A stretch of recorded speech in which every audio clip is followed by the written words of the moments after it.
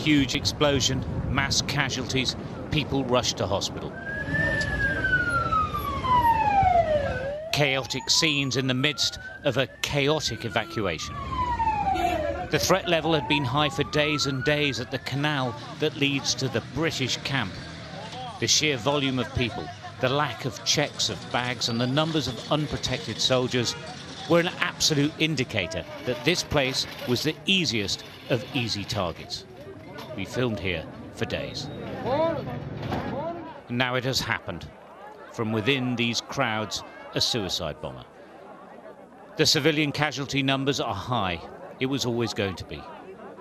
So unprotected and desperate to leave, they wouldn't have noticed anyone acting strangely because here everyone is acting strangely.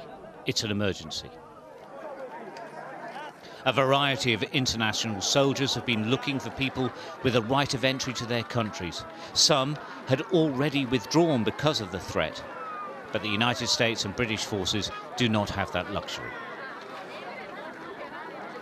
The paratroopers have been fully engaged in the processing of the evacuees in this area, but their main focus is on the sea containers that limit the numbers trying to get through.